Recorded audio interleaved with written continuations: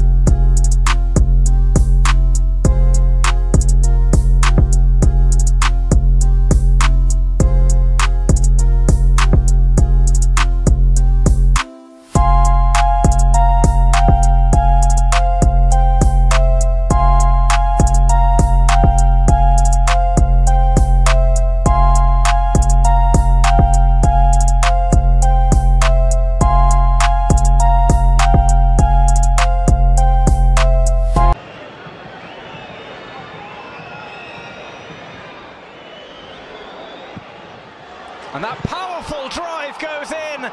It's a great goal to open up the scoring at the Jose Zorrilla.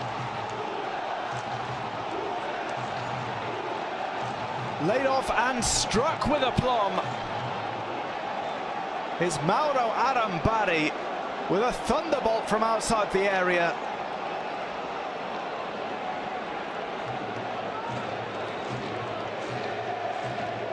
We will get another look at it.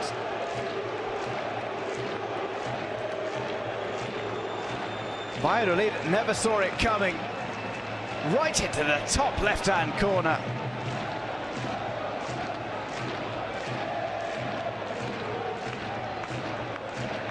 Aaron Arambarri launching that one with plenty of effect.